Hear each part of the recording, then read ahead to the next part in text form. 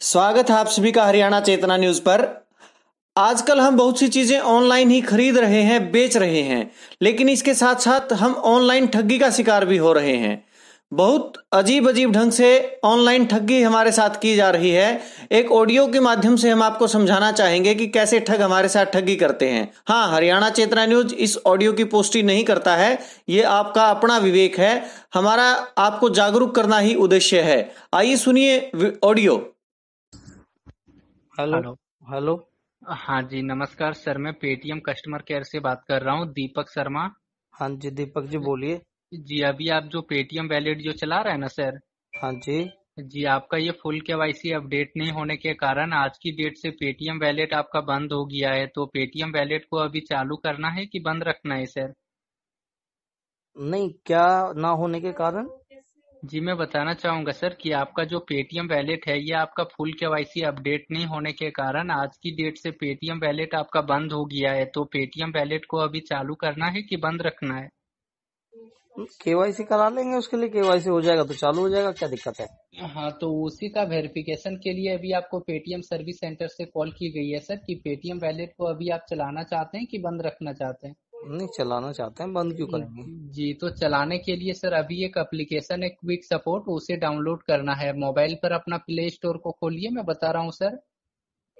नहीं कोई बात नहीं आप मुझे बता दीजिए मैं बाद में फॉलो कर लूँगा। हाँ क्विक सपोर्ट डाउनलोड करके फिर क्या करना है? मैं आपको वही प्रोसेस बता दे रहा हूँ अभी आपको फॉलो करना है ऑन कॉल पे ठीक है? सर और जो भी वेरिफिकेशन करना है सर आपको खुद अपना मोबाइल से करना है। हम आपसे कोई जानकारी नहीं पूछ रहे जो घबरा रहे हैं सर ठीक है ना? नहीं नहीं नहीं घबरा नहीं रहा। मैं क्यों घबराऊँगा? मैं कोई अनपढ़ गवार आदमी थोड़ी हूँ जो आप मेरे से कुछ भी कराओगे तो मैं कर दूँगा। ओके। मैं इतना तो मैं समझता हूँ ना कि पेटीएम कभी किसी को कॉल नहीं करता। और आप जो कह रहे हैं ना फुल केवाईसी मेरी केवाईसी मैंने परसों ही कराई है। और मैंने हाँ। अभी पाँच मिनट पहले अपने उससे कराया। आप लोग ऐसे क्यों करते हैं सर? अभी देखो कोरोना चल रहा है। लोग कैसे कैसे अपना गजर बसर कर रहे हैं? कैसे अपना घर चला रहे हैं? आप लोग क्यों करते हैं ऐसे चीटिंग फ्रॉड किसी के साथ? क्या करेंगे सर? हम लोग का खुद घर नहीं चल रहा है। मेरे भाई एक बात समझो। हर आदमी गरीब है। हर आदमी कैसे मेहनत से कर रहा है? कोई बेचारा कैसे गुजारा कर रहा है? आप ऐसे कॉल करते हैं। मान लिया आपका घर नहीं चल रहा लेकिन मेरे दोस्त मेहनत करो ना। ऐसे किसी की चीटिंग फ्रॉड करने से क्या फ़ायदा? तो ये भी तो एक मेहनत ही है सर। ये मेहनत है सर। आप ऐसे कॉल करते हो किसी को भी। कोई भी आपके कहने से कुछ करता है उसका अकाउंट आप खाली कर देते हो। क्या उसने क्या बिगाड़ा है बेचारा? किसी का मान लो कोई हॉस्पिटल में एडमिट है या कोई खुद बीमार है या किसी की क्या मजबूरी है? आपको तो उसकी मजबूरी थोड़ी ना आपको पता होगी। तो उस तरह उन लोग का काम नहीं ना करते हैं सर? कर तो रहे हो सर। आप बताओ कि मैं केवाईसी करवाऊँगा। मैंने कल ही केवाईसी कराई है। अभी पैसे डाले हैं। आपने मेरा पेटीएम का वैलेट भी होल्ड कर दिया और आप मेरे से वो कह रहे हैं ये डाउनलोड करो वो डाउनलोड करो करूँगा। मेरा अकाउंट खाली कर दोगे आप। आपको पता है मैं किस दौर से किस मुसीबत से गुजर रहा हूँ? नहीं। फिर बताओ। थोड़ा सोचो जमीर अपना एक जमीर होता है ना इंसान का ठीक है उस पर हाथ रखो। फिर सोचो यार क्यों अपन किसी के साथ ऐसा करेंगे? जाने अनजाने में मान लो आपके ऐसा करने से उस बंदे का सब कुछ चला जाए उसके घर में कोई हॉस्पिटल में एडमिट हो वो मर जाए डेथ हो जाए भगवान कहाँ माफ़ करेगा आप लोगों को यार। वो बात तो है। है ना? आप लोग मैं देखो मेरे कहने से तो तुम मानोगे नहीं। नहीं मेरे कहने से तुम्हें चीटिंग छोड़ोगे। लेकिन प्लीज़ कभी सोचना मेरे छोटे भाई प्लीज़ कभी सोचना। ऐसे दो चार लोग तो तुम शाम तक फंसा ही लेते होगे अनपढ़ लोग होंगे जिनको नॉलेज नहीं नहीं। नहीं। है ना? पहले होता था सर अब बंद हो गया। अब नहीं फंसते लोग? नहीं बहुत कम। चलो यार जिस तरह आपको जागरूक है उस तरह हर एक आदमी जागरूक होने लगा है। मेरे दोस्त एक दो तो फंस ही जाते होंगे।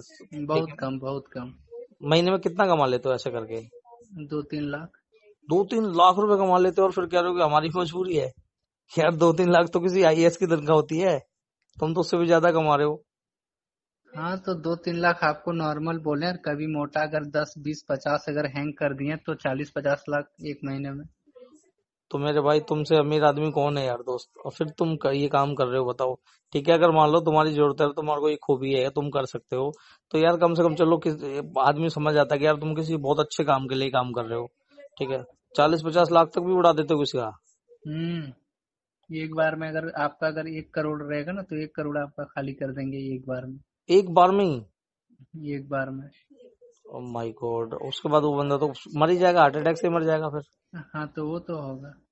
तो यार उसने क्या बिगाड़ा था तुम्हारा जिसको तुम मार रहे हो? तुम एक तरीके से तो एक हत्या ही कर रहे हो ना किसी की? सर किसी का हत्या करना तो पैसा ही है ना सर पैसा ही तो हत्या करवा रहा है ना। हाँ तो पैसे किससे ही होते हैं लड़ाइयाँ झगड़े से पैसा ही है जड़। तो यार अच्छा। चलो कहाँ कहाँ से करते हो तुम ये झारखंड? हाँ वहीं से। ये सारा रांची में यही काम हो रहा है यार टोटल हमेशा जितने भी कॉलेज अच्छा पुलिस भी परेशान है तुमसे तुम्हारा पुलिस भी कुछ नहीं बिगाड़ पा रही। पुलिस तो बहुत परेशान है सर। हाँ यार कुछ भी नहीं कर पा रही पुलिस तुम्हारा पता नहीं क्या तुम्हारा सिस्टम है। कहाँ से तुम लोग इतने सिम लाते हो कहाँ से इतने आइडिया लाते हो लोगों की? कैसे तुम लोग कर देते हो यार? तुम्हारे मतलब आप हम्म? तुम्हारा भी आर्ट है तुम्हारी भी कला है यार ये बड़ी तगड़ी ना। हम्म। बता रहे हम लोग का। अच्छा तुम लोग सैलरी पे करते हो ये काम? नहीं। अच्छा खुद। खुद के लिए करते हो ना? हम्म। अच्छा तो तुम तो बोल रहे हो महीने में करोड़ रुपए भी किसी का उड़ा देते हो तो फिर तो तुम्हारे तो कोई लिमिट ही नहीं है कमाई की। हाँ कमाई की तो कोई लिमिट नहीं है। आपको पर डे पर डे जैसे कि दस बीस पचास हज़ार लाख एक दिन में भी कमा सकते हैं। किसी दिन नहीं भी हुआ। अच्छा। तो उसको एक को एक बंदे के साथ फ्रॉड करते ही कॉल को तोड़ देते हो सिम को तोड़ के फेंक देते हो ना? हाँ वो सिम तो तोड़ के फेंक देते होंगे या तो नहीं भी फेंकते हैं। आप इतना पूछ रहे हैं आप इतना बोल रहे हैं तो ये सिम अब हमको फेंकना ही पड़ेगा। नहीं यार मैं तो खैर तुम्हारा क्या बुरा करूँगा? भाई देखो मैं तो एक बात पे विश्वास रखता हूँ। तुम किसी का बुरा कर रहे हो भगवान तुम्हारा बुरा करेगा बस। मैं तो सीधा जानता हूँ। चोरी का बात माल तो बहुत सही बोले। चोर देखो तुम्हारे को पुलिस में कोई पकड़वा भी देगा क्या दो चार साल जेल काट के आ जाओगे बाहर आ जाओगे? पुलिस भी सेठ रहता है सर पुलिस भी पैसे खाते हैं। ओके हाँ ये तो है यार। बिना बिना शासन प्रशासन के मिले हुए कोई गलत काम नहीं हो सकता। मैं तो इतना जानता हूँ जब ऊपर वाला हिसाब लेगा ना तुमसे वो तुमको फिट करेगा रखेगा। उसके हिसाब में कोई अप्रोच नहीं कोई रिश्वत नहीं वो नहीं। मुँह से हम्म, आदमी बोलने से क्या है? मैं कुछ भी बोल दूँ तुम्हारे को बदवा दे दूँ गाली दे दूँ तुम उधर से मुझे गालियाँ दोगे बदवा दोगे वो नहीं लगेगी। फ़ायदा?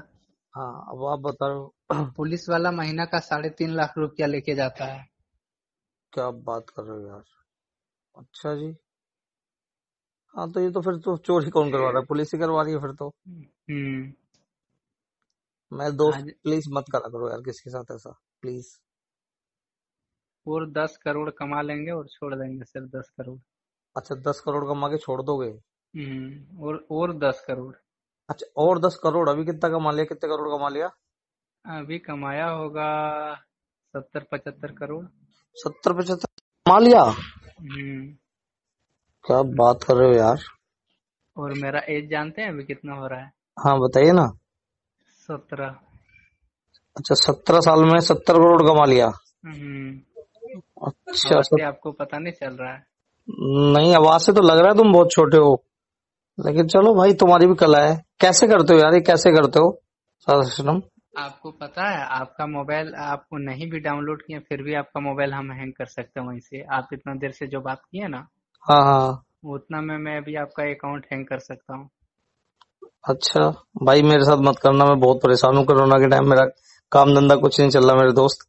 मैं तो बहुत परेशान हूँ मेरे साथ तो कम से कम मत करना ऐसा। चलो।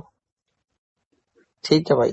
क्या सर मैं कह रहा हूँ मैं तो भाई कोरोना में चलते वैसे बहुत परेशान हूँ एक एक रुपए के लिए बहुत बुरे हाल से गुजर रहा हूँ। सर मेरे- आपका आपका नहीं करूँगा सर। आप क्या मज़ाक कर रहे हैं?